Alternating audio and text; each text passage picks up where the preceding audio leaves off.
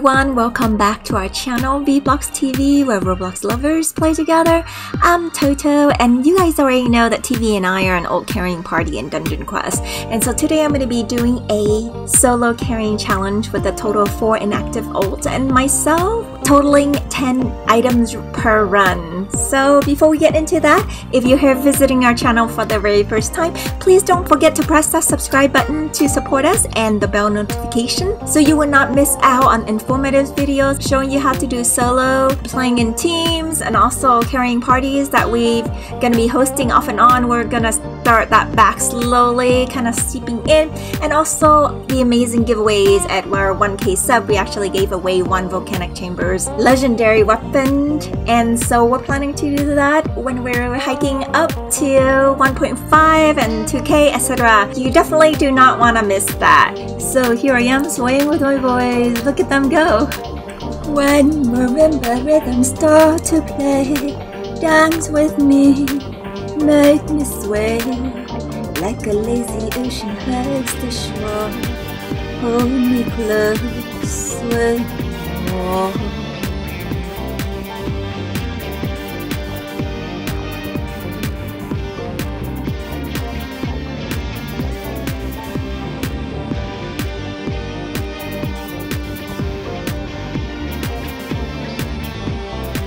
Alright everyone, let's have accounts load in right now.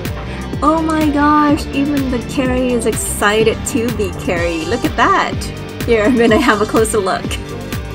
And that was funny. That was the snowman doing.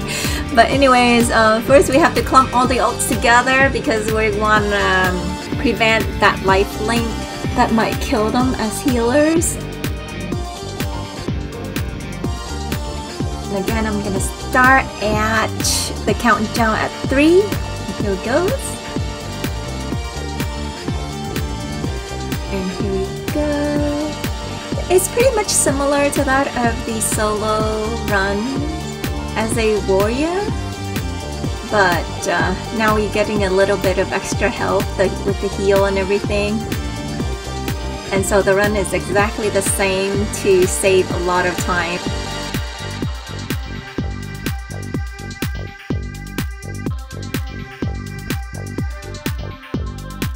So we're losing a couple of microseconds here as we're backing up and turning around, but not too much time.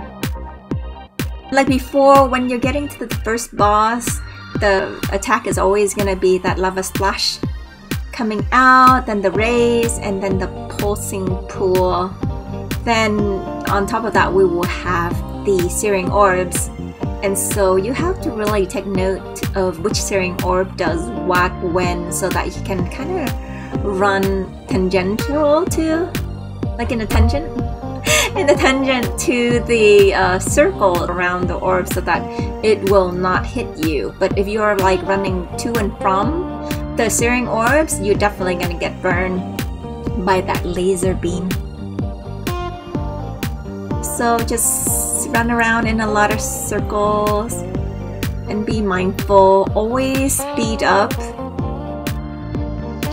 when the pool is coming or when you need to get out of the rays.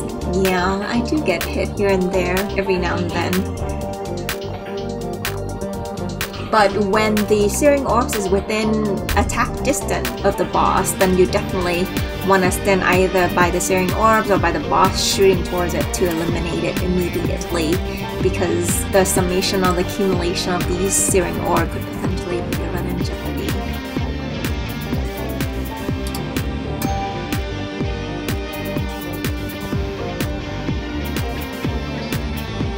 And here we are doing the same thing, going forward, hit them, get the aggro, and then pulling back.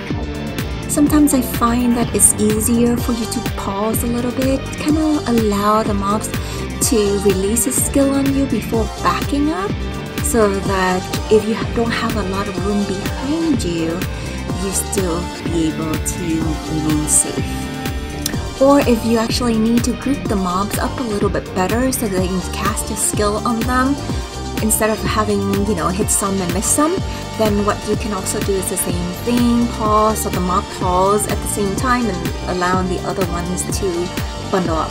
So when possible, I try to stay near the mob group and put a couple swings in.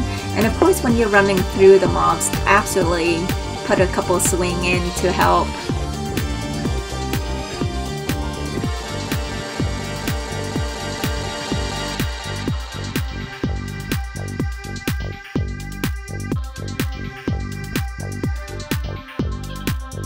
I also zigzag a little bit every now and then just to get out of the way from the artillery attack along with slowing the group down, like the melee group down so that they pack together a little bit better. So you can attack them all in one go kind of like you can see they're kind of trailing now and if I keep running back it's not gonna work. So I have to either double back or zigzag a little bit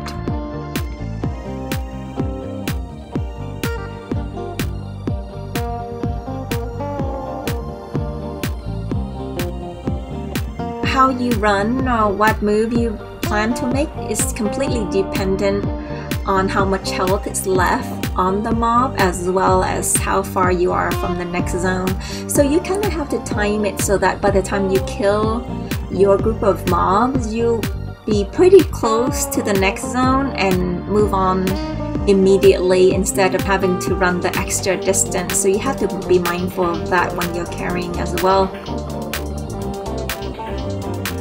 And of course, at the second boss, when you get the boulder, absolutely use that inner skill to get out of the way, because that can actually obliterate a lot of us into smithering.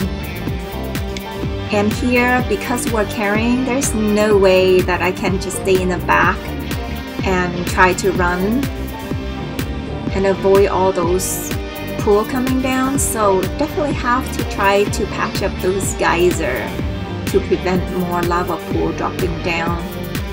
And I have to be very diligent about it, even with the ones that are a little further in the back. So always get your skill onto the boss and load that damage out first, and then go patch the geyser.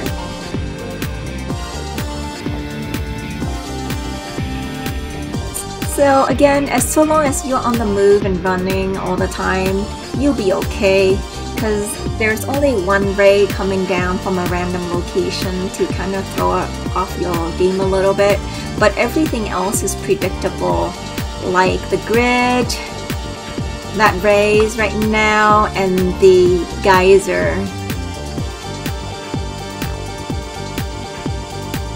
And so run and patch up the geyser when convenient so long as you don't have them like stack up as like three, four, five different geyser blowing at you, then you should be okay.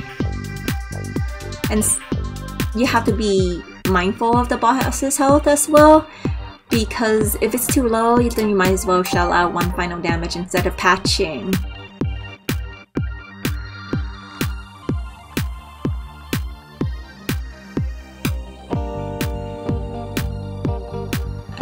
that was complete skill trying to get out of that attack. Alright. So here the key is try not to go all the way to the end of the road and kind of stand there when all these artillery shooting lava shot at you. So kind of like leave yourself a little space so you can run back and forth and avoid these tracking lava pool shot at you.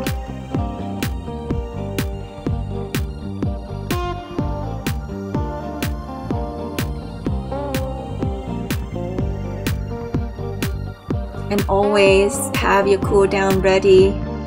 And here is the same thing. Um, you can run continuously, but I wouldn't recommend it. I would recommend pausing for a microsecond here and there, kind of like allowing the mobs to get behind you instead of trying to cut you off sideways and you will get caught, especially with that rectangular stunning zone that they have.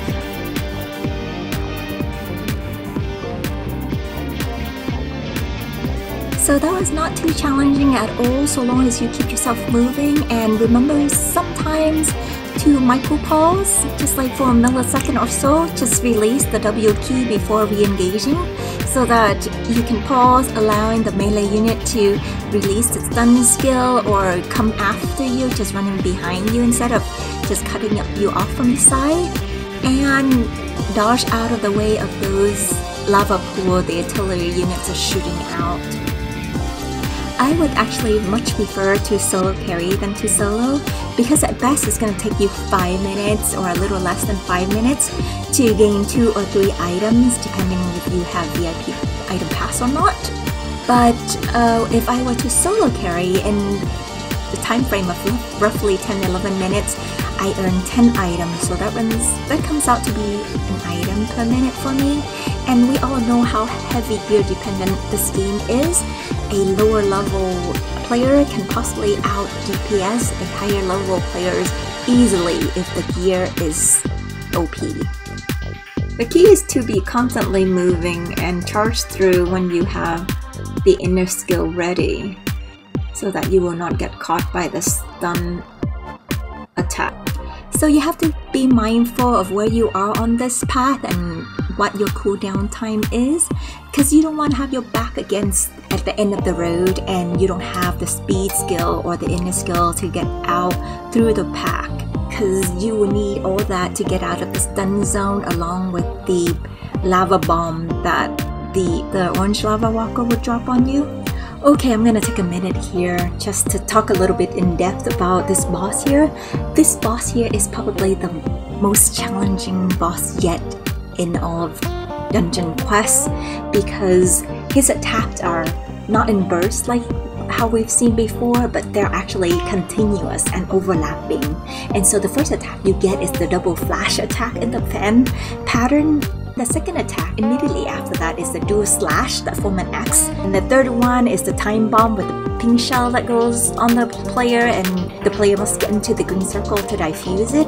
And then you get the double slash X attack again while you also get life link onto an ult or someone else in your party if you're not carrying like I am. And while all that is going on with the life link ongoing, giving you like hypertension because you have this red line that's linked to somebody else and it may explode. And you also get these invisibility attack where the bots just disappear and start throwing down random magma lines, lava lines that's gonna burn you for half of your health if you're at 85-ish because each of the attack is roughly 46 million. And then while all that is going on with the random lines, you get the double flash fan attack on you simultaneously, so it's overlapping. So all this is happening, you need to dodge out of the way, and if you actually get hit by one of those rays and the life links go off, it's a sure oof. So that's why this boss is very, very challenging. So with that said, let's hop into the actual dodging of the attacks itself. So the very first attack is the double flash attack. First one is not really going to harm you, but it's going to mark out where the second one's going to be. So you need to dodge out in between those rays and shell out your damage, then immediately run left or right to avoid the double slash attack. And now you can get a bombshell going around you where you have to run back into the green circle to stay safe, but he's gonna release the double flash attack again. So you have to remember where it was and while standing in the green circle, avoid the second flash attack. Now he's gonna do his X attack again and finally bring up his lava cage and gonna throw down all these lava lines that's randomly crisscrossing everywhere while linking someone like life link someone to another player in the game so that if you actually get hit by any of these and get the life link pop off it's gonna be an immediate oof.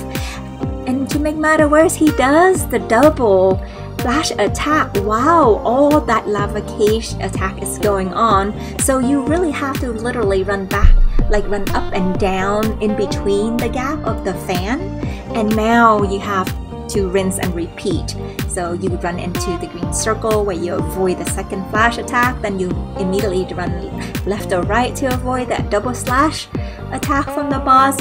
And now he's gonna go up with the lava cage again and he's gonna throw down all these random attack while life linking two members of your party together. Luckily this time I didn't get it, but he's gonna throw down the fan attack right now simultaneously on top of all these lava lines that's popping half your health if you do not avoid it. So your healing have to be really on point and your dodging skill must be on point as well. There is no room for error here. And so here we go, double flash. You have to remember where the flash is and avoid it while standing in the green safety zone.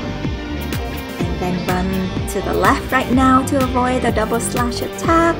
And then he's gonna go up, bringing his lava cage again to throw down all these lava lines on you while life linking possibly you with an old or the old with each other and now the radio fan attack double flash. First one, second one. So he got me. Nearly death right there. Whew, that was dangerous. Luckily I got a heal on in time and rinse and repeat. I could have been easily oof right there if I did not have this 100 mil right now. Yeah. And then the double attack first one was harmless second one got hurt a little bit, but it's still manageable. Alright, that's pretty much it folks, and so I'm gonna resume it so that we can see what's going on. It's nearing the end anyway, just a couple more attack. Well, actually as I'm doing this video, I just want to let you know that I'm already able to solo carry a total of 6 accounts. So I'm actually getting 12 items per run and no longer 10. But I'm gonna save that for another day. Once you have the pattern of the final boss figured out, it's just a matter of mechanics and running it. It's super easy to be honest. And so like if some girl somewhere can actually do like a solo carry of five or six characters, you definitely can do the same. Trust me, I'm not that good. But um, if Jane can do it somewhere, so can Joe and so can Jill, right? Well, I hope this detailed tutorial of how to beat the final boss has been helpful to you and that will actually enable your gameplay a little better when you're soloing or solo carrying. Good luck everyone and don't forget to press the subscribe button, leave a bunch of likes if you find this tutorial helpful, tell your friends about us and we shall be seeing you in the dungeon. Take care everyone. Oh, and one more thing. Stay safe, stay home, play Roblox with us, of course.